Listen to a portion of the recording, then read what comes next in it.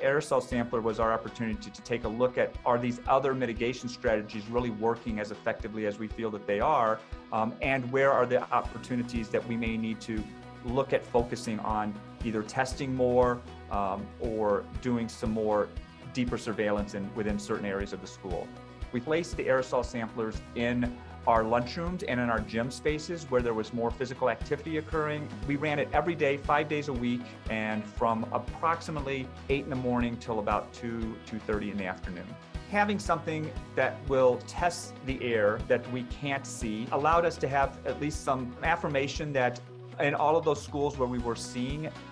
negatives every day, that we were doing the right thing.